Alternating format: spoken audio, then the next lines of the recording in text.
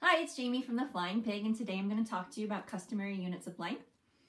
And this is a really handy mnemonic because my kids were struggling with memorizing the conversions in customary units. So we came up with a mnemonic using reference points on our body to give us sort of an idea about how long those measurements are.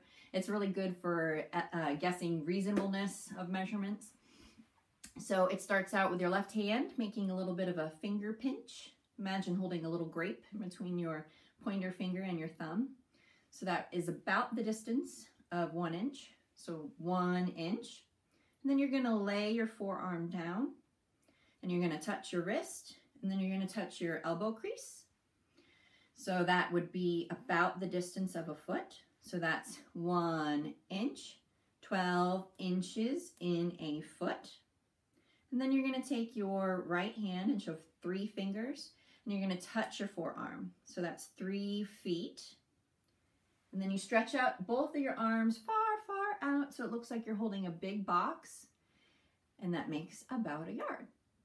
So that's one inch, 12 inches in a foot, three feet in a yard. Now the last part is five tomato which I know that sounds like it has nothing to do with customary units of length, but it gives the kids a nice little remembrance for 5,280 feet.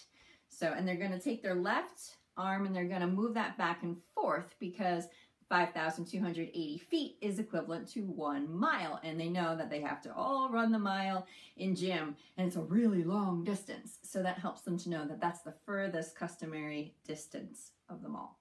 So that would be five tomato, five to eight oh, five to eight oh feet in a mile.